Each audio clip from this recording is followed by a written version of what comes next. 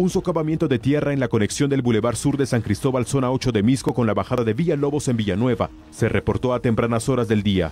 Se dice que la saturación de los suelos a consecuencia del invierno y el colapso de tubería de aguas pluviales provocaron este hundimiento. Las autoridades de la municipalidad de Misco cerraron de inmediato el paso como medida de precaución. No habrá acceso a esta carretera por tiempo indefinido, lo que afectará a cientos de personas que se movilizan desde Misco hacia el sur del país y viceversa.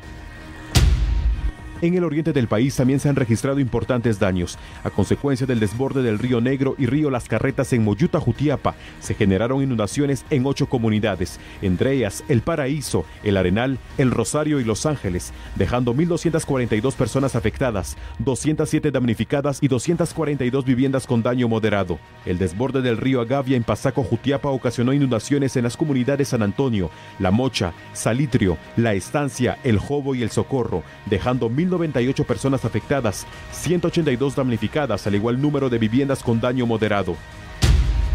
Las recientes lluvias también provocaron el colapso de drenajes causando inundaciones en la colonia El Paraíso de San Pedro Huertas, Antigua, Guatemala, dejando 63 personas afectadas, 9 damnificadas, 12 albergadas y 9 viviendas con daño moderado. El desbordamiento del canal de Chiquimulía ocasionó una inundación en la aldea El Astillero en Santa Rosa, dejando 110 personas afectadas, 35 damnificadas, 110 albergadas y 35 viviendas con daño moderado. Escuintla es otro departamento afectado. Las lluvias ocasionaron inundaciones en la aldea Santa Odilia Nueva Concepción. Personal de la Coordinadora Nacional para la Reducción de Desastres llegó al lugar para evaluar los daños.